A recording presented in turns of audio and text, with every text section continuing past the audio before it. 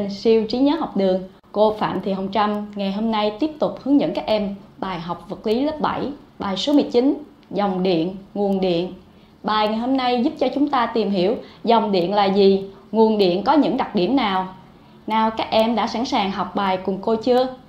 Hãy bước vào phần 1 cùng cô nhé. Ở phần 1, cô cùng các em tìm hiểu sự tương tự giữa dòng điện và dòng nước. Hãy cùng cô quan sát và đối chiếu một số hình ảnh minh họa sau đây giữa hình A và hình B. Khi cọ sát mảnh phim nhựa làm cho nó bị nhiễm điện, cũng giống như việc cô đóng khóa và đổ nước vào bình. Từ đây ta thấy điện tích của mảnh phim nhựa tương tự như nước có trong bình. Tiếp theo, hãy quan sát hình C và hình D. Khi ta chạm bút thử điện, đèn của nó vụt sáng rồi lại tắt.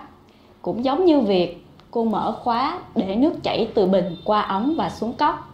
Từ đây ta thấy được rằng điện tích của mảnh phim nhựa qua bóng đèn bút thử điện đến tay ta tương tự như nước trong bình chảy qua ống và xuống cốc. Bây giờ cô có một câu hỏi. Khi nước không chảy nữa, cô tiếp tục đổ nước vào bình và nó chảy qua cốc. Nếu bóng đèn của bút thử điện không sáng nữa, làm cách nào để nó tiếp tục sáng? À, chắc chắn các em đã có câu trả lời. Chúng ta sẽ tiếp tục cọ sát mảnh phim nhựa và làm cho nó bị nhiễm điện. Qua đây chúng ta có được một nhận xét bóng đèn bút thử điện sáng khi có điện tích dịch chuyển qua nó. Phần một này chúng ta tìm hiểu được phần kết luận sau đây. Dòng điện là dòng các điện tích dịch chuyển có hướng. Nào chúng ta hãy tiếp tục đi vào phần 2 của bài ngày hôm nay nhé. Dòng điện là gì? Dòng điện có những đặc điểm nào? Các em cùng cô quan sát một số nguồn điện thường dùng.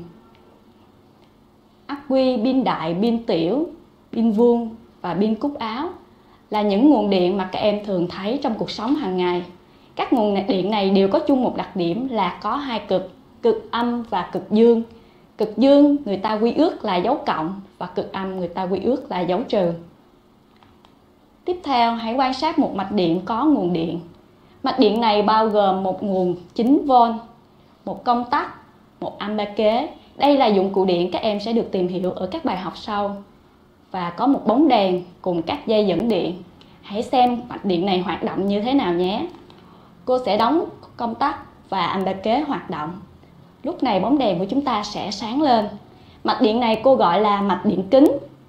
Dòng điện chạy qua mạch điện kính bao gồm các thiết bị điện được nối với hai cực của nguồn điện bằng các dây dẫn điện. Nội dung bài học ngày hôm nay rất đơn giản và chúng ta có thể tìm hiểu lại qua bằng cách coi sơ đồ tư duy. Sơ đồ tư duy này giúp cho chúng ta ghi nhớ được bài học một cách dễ dàng. Ngày hôm nay chúng ta có 3 nội dung quan trọng. Thứ nhất, dòng điện là dòng các điện tích dịch chuyển có hướng. Thứ hai, mỗi nguồn điện đều có hai cực, là cực dương và cực âm. Và nội dung cuối cùng của chúng ta là, dòng điện chạy qua mạch điện kính, bao gồm các thiết bị điện, được nối với hai cực của nguồn điện bằng dây dẫn điện bài học của chúng ta đến đây là kết thúc rồi. Cảm ơn các em đã theo dõi chương trình. Hy vọng các em sẽ ghi nhớ được kiến thức học ngày hôm nay. Hẹn gặp các em ở chương trình siêu trí nhớ học đường kỳ sau.